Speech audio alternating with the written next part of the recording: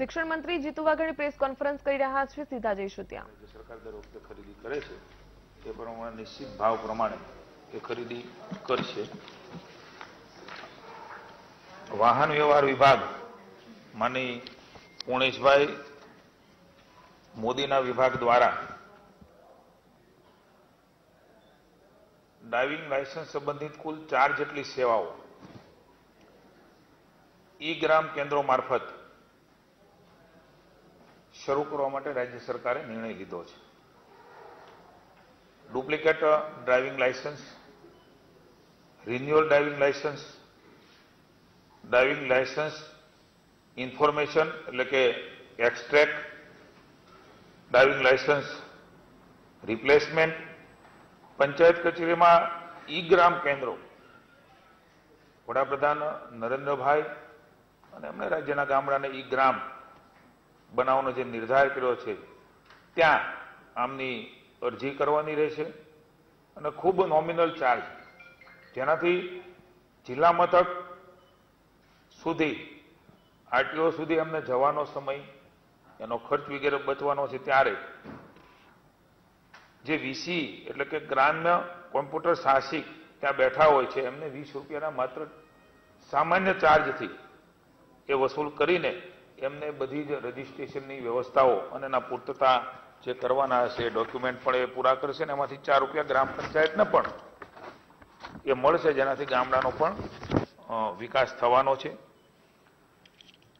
ગુજરાત બિન અનામત શૈક્ષણિક આર્થિક વિકાસ નિગમ, આપ સૌ જાણો છો કે ખૂબ બધા અલગ અલગ પ્રકારે મારા વિભાગમાં આવે છે શૈક્ષણિક અભ્યાસ લોન સ્વરોજગારીની નાના પાયે વ્યવસાય અને વાહન વ્યવહાર લોન કોચિંગ ટ્યુશન ક્લાસ માટેની સહાય, જી નેટ ગુચ્છેર પરીક્ષા માટે કોચિંગ સહાય યોજના, સ્પર્ધાત્મક પરીક્ષાઓ, એમના માટે તાલીમ સહાય, ભોજન બિલ સહાય,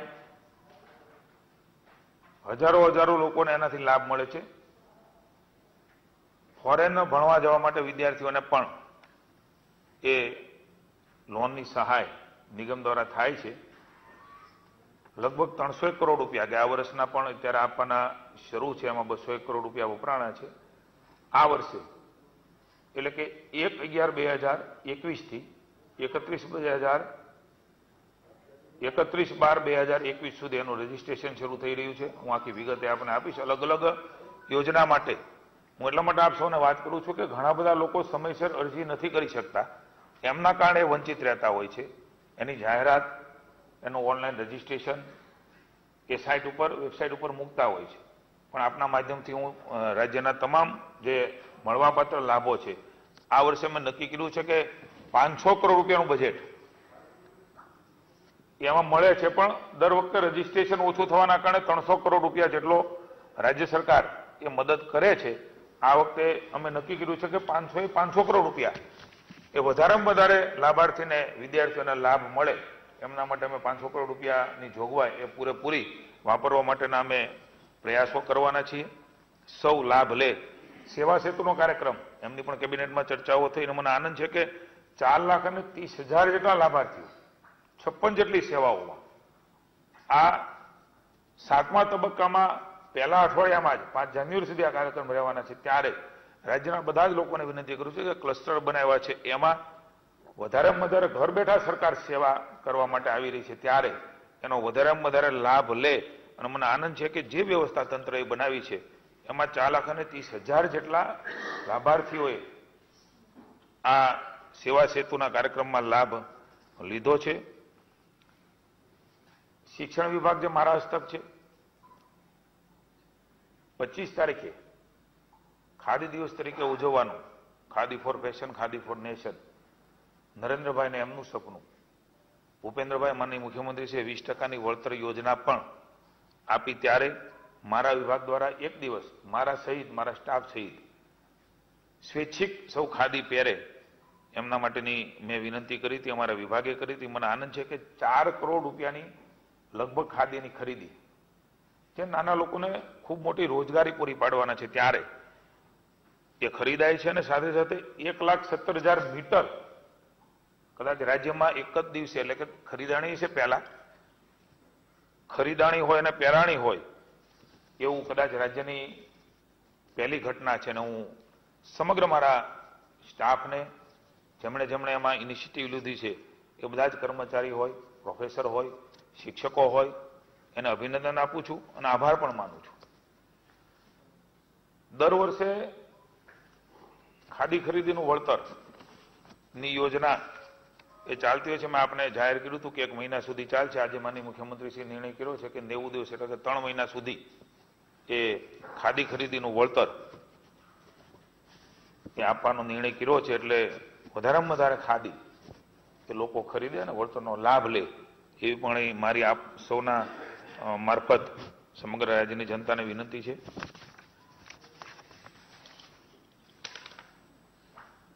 ખેડૂતો માટે મહત્વનું કહી શકાય. રવિ પાકની સિઝન માટે તેને કામગીરી માટે ખેડૂતો અત્યારે તૈયાર થતા હોય છે ત્યારે. દર વખતે દિવાળી પછી એમને સિંચાઈનું પાણી આપતા હોઈએ છીએ. કેબિનેટમાં આજે માની મુખ્યમંત્રીશ્રીએ નિર્ણય કરીને વિભાગને આદેશ કર્યા છે કે ખેડૂતોની માંગ જ્યારે અત્યારથી આવે ત્યારે એમની તૈયારી રૂપે એ તૈયારી કરી શકે હેતુથી સમગ્ર રાજ્યમાં દક્ષિણ ઝોનમાં દમણગંગા, ઉકાઈ, સૌરાષ્ટ્રમાં શેત્રુંજી, ભાદર, ઊંડ એક બે, મચ્છુ એક બે, હાજી બે ત્રણ ચાર, ઓઝત મછુંદરી રાવળ, આ બધા જે ડેમો આવ્યા છે એ સૌરાષ્ટ્રના છે. દક્ષિણ ગુજરાતના મેં કયા મધ્ય ઝોનમાં મહી, ધરોઈ, કડાણા, પાનમ, કરજણ ઉત્તર ગુજરાતમાં સુજલામ સુફલામ હાથમતી મેશવો, રોહાઈ, આ બધા જ જળાશયોમાંથી ખેડૂતોને સમયસર પાણી મળી રહે. એના માટે શનિવારથી એ પાણી આપવાનું ખેડૂતોને સિંચાઈનું રાજ્યની સરકારે માનની ભૂપેન્દ્રભાઈ પટેલે નિર્ણય કર્યો છે.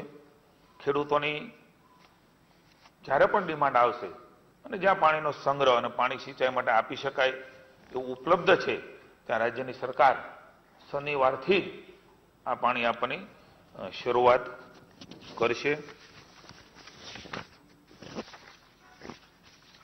મહામહિમ રાષ્ટ્રપતિ મહોદય રામનાથ કોવિંદજી કે ગુજરાત આવી રહ્યા છે. આપણે સૌ માટે ખાસ કરીને રાજ્ય માટે આનંદની વાત છે. માની કોવિંદજી અઠ્યાવીસ તારીખે ગુજરાતમાં અમદાવાદ એરપોર્ટ ખાતે બપોરે બાર વાગે પધારશે. ત્યાંથી રાજભવન રાજભવન લંચ અને રિઝર્વ એમનો ટાઈમ છે પાંચ પિસ્તાલીસથી છત્રીસ. હાઈકોર્ટના જજીસ સાથે એમની હાઈટી યોજવામાં આવી છે. રાત્રિ રોકાણ માનની રાષ્ટ્રપતિ મહોદય એ રાજભવન ખાતે કરશે ઓગણત્રીસ તારીખે સવારે સાડા નવ કલાકે રાજભવનથી અમદાવાદ એરપોર્ટ જવા નીકળશે અને અમદાવાદ એરપોર્ટથી ભાવનગર. એમનો જે નિર્ધારિત કાર્યક્રમ અત્યારે આવ્યો છે, એ પ્રમાણે ભાવનગર પહોંચશે એરપોર્ટ. સરકાર તરીકે, પ્રતિનિધિ તરીકે મારે હાજર ત્યાં રહેવાનું છે. એરપોર્ટથી મહુવા બાય હેલિકોપ્ટર એ પહોંચશે પૂજ્ય મોરારી બાપુ. પણ ત્યાં હેલિપેડ ઉપર ઉપસ્થિત રહેવાના છે. લગભગ અગિયાર પિસ્તાલીસે માની રાષ્ટ્રપતિ મહોદય ત્યાં પહોંચશે ને બાર પાંચે, એટલે કે ત્યાંથી નીકળીને તળગાજડા. પૂજ્ય મોરારી બાપુનો આશ્રમ છે. ત્યાં પહોંચવાના છે. ત્યાં આશ્રમની મુલાકાત વગેરે લઈને ત્રણ ને પંદરે મોવાથી પુનઃ ભાવનગર આવવા નીકળશે. ચાર વિશે ભાવનગર એરપોર્ટ પર પહોંચીને ઈડબલ્યુ S PM Awas Yojana, economy વિકર section માટેની યોજના છે. એમાં એક હજાર, ભાવનગર ખાતે એક હજાર ને અઠ્યાસી જેટલા મકાનોનું લોકાર્પણ એ મહામહિમ રાષ્ટ્રપતિ મહોદયના હસ્તે થશે. માની મુખ્યમંત્રી શ્રી ભૂપેન્દ્રભાઈ પટેલ પણ એ સમયે ત્યાં હાજર રહેશે. હમીરજી પાર્ક સુભાષનગર એ જે ભાવનગરમાં એરિયા આવ્યો છે, ત્યાં પાંચ લોકોને ટોકન સ્વરૂપે ચાવી પણ આપશે અને રંગારંગ રીતે એમના સ્વાગતનો પણ કાર્યક્રમ ત્યાં વહીવટીતંત્ર દ્વારા ભાવનગરમાં કરવામાં આવશે અને ત્યાં રિબિન કાપીને એક કોન્ફરન્સ રૂમની અંદર. ત્યાં જ કોન્ફરન્સ સ્થળ ઉપર બનાવવામાં આવ્યો છે. માની કમિશનર ભાવનગર કોર્પોરેશન એ પ્રધાનમંત્રી આવાસ યોજના, મુખ્યમંત્રી આવાસ યોજના જે બની રહી છે, એનું આખું પ્રેઝન્ટેશન કરશે. પ્રધાનમંત્રી આવાસ યોજના રાજ્યભરમાં જે ચાલી રહી છે, એમનું પ્રેઝન્ટેશન આખા રાજ્યનું લોચન શહેરા એ કરવાના છે. અને ત્યાંથી રાષ્ટ્રપતિ મહોદય રાત્રિ રોકાણ પણ એ ભાવનગર ખાતે કરવાના છે. બીજા દિવસે માની રાષ્ટ્રપતિ એ એરપોર્ટ પહોંચીને દસ વાગે સર્કિટ હાઉસથી નીકળશે. દિલ્હી જવા રવાના થશે. મને મુખ્યમંત્રી શ્રી પણ ભાવનગર રાત્રિ રોકાણ કરવાના છે. માની અમિતભાઈ શાહ આપણા ગ્રહ ભાવનગરથી સીધા દિલ્હી જવા. ભાવનગરથી દિલ્હી જવા રવાના થશે. માની મુખ્યમંત્રી શ્રી ગાંધીનગર આવવા રવાના થશે.